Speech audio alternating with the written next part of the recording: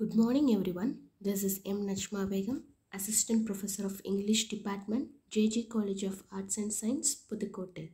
In this session, we're going to discuss about the prose A Deed of Bravery by Jim Corbett.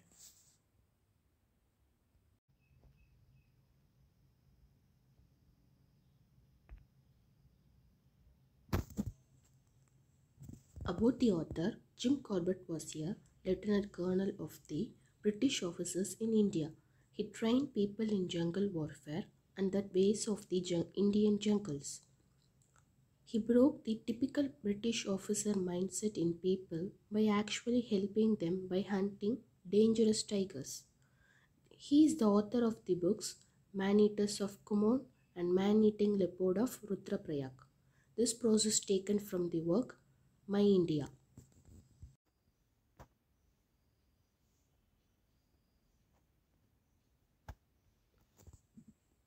The characters Narwa and Haria, the protagonist duo of the work from Almora, Jim Corbett, the author of the work, Maggie, sister of Jim Corbett, the doctor, he treated Narwa's wounds. There are some minor characters Robin, the pet dog of Jim Corbett, wife of Narwa.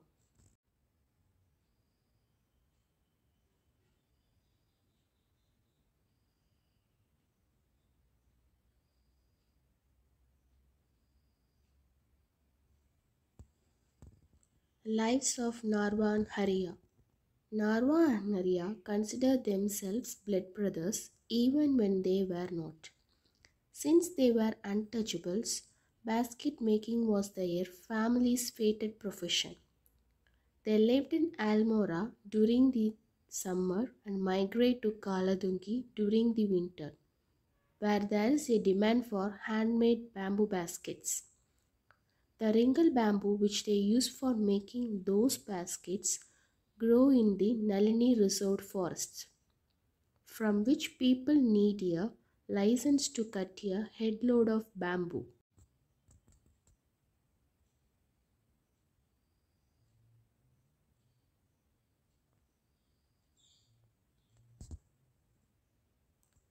The brothers go on a journey. Narwa and Haria set out to Nalini village early in the morning at 26 December 1939. Since it's really cold in the morning, they wore coarse cotton sheets around them. They first went along the canal bank, after which they take an alternate footpath which runs alternatively to the dense scrub jungle over long stretch of the Boar River. They cross the river through a shallow path to go into a tree and grass jungle. They travel a mile through this jungle to reach the valley full of tall grass. It is known as Samal Chor.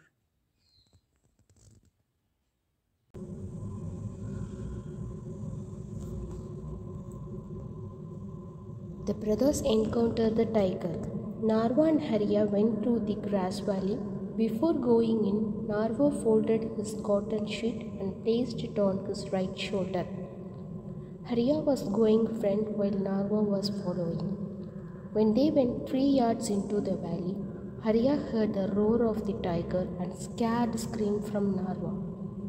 When Haria turned back, he sees a tiger lying diagonally across Narwa. Haria pulls Narwa by the ankles and drags him away from the tiger and see that Narwa was badly injured.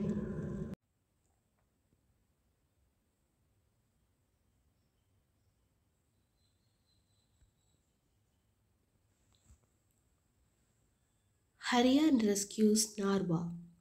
Haria hires a pack horse for two rupees and mounted Narwa on it. Since the distance to Kaladungi was 8 miles and the tiger was in between their path, Haria took an alternate path through Musabanga village, which added 10 miles to their journey. They made it to their communal hut where Maggie was having her tea in her house. Since the injury was too much for Maggie to handle, she quickly gave Narwa a dose of sal volatile and made a sling for his arm. She also wrote a letter to the local surgeon too.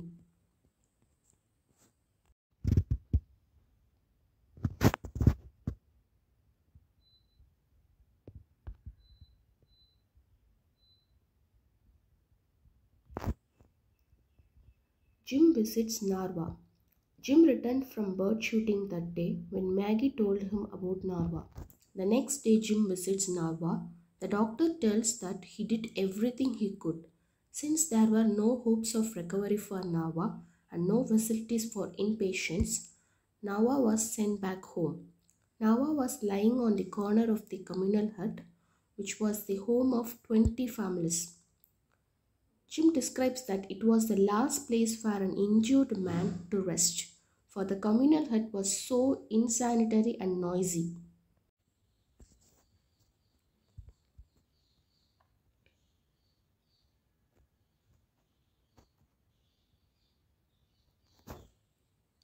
Narwa was suffering from high fever at some times and was in a state of unconsciousness or coma and was looked after by his crying wife and Haria. Jim says that it was clear even to his unexperienced self that if the wounds were not opened immediately and cleansed, they would become septic. Therefore, Jim takes Narwa to the hospital and allows the young doctor to open his wounds with a lancet.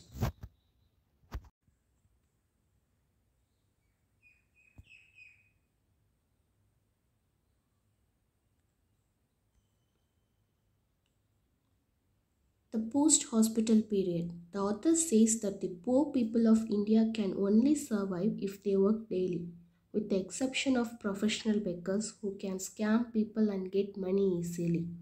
Since Narwa's wife was busy looking after him and their three year old baby, Maggie supplied all their needs. After three months, Narwa came to the author's house to bid him farewell. He became so skinny due to malnourishment. The next day, Haria and his family went back to Almora.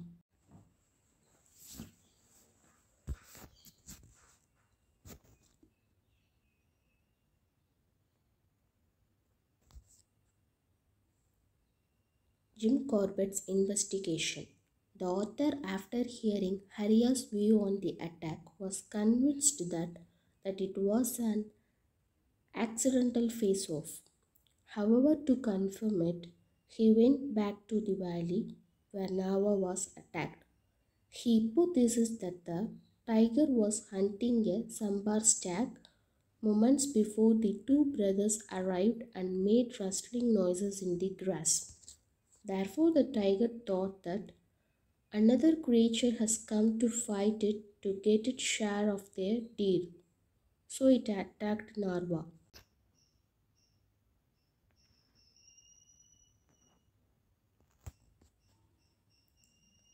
Therefore, Jim left the tiger alive since it made no more attempt to bite Narwa after it pounced on him and it had even let Haria drag Narwa below its legs. The story of this tiger was later introduced in the chapter Just Tigers of the author's work, The Man-Eaters of Kumaon.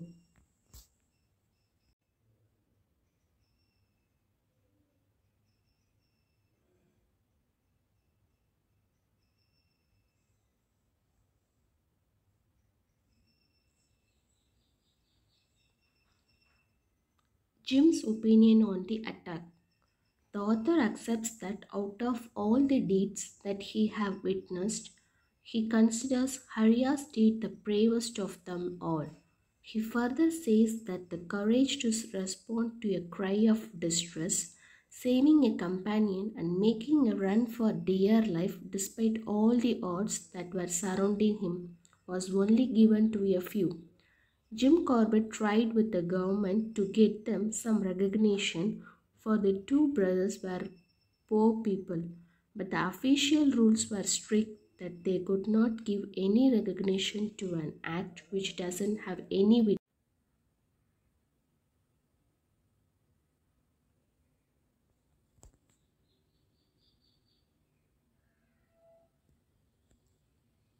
Therefore, the author sadly says that the two brave hearts went off without any recognition and was only left with more pain and distress.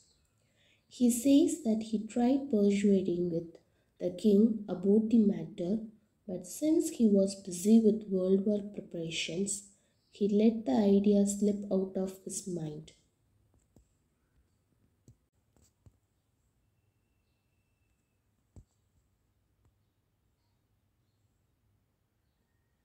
The timeline of this story. At first, the brothers started their journey to Nalini forest. During their journey, Narwa was get attacked by tiger on the way and then Haria took Narwa with him and returned back to Kaladungi via Musabanga village. Narwa was badly injured so he had his medication and resting at the communal hut and then Narwa was taken to the hospital by Jim and his wounds were cleaned. Finally, Narwa and Haria and his families returned back to Almora.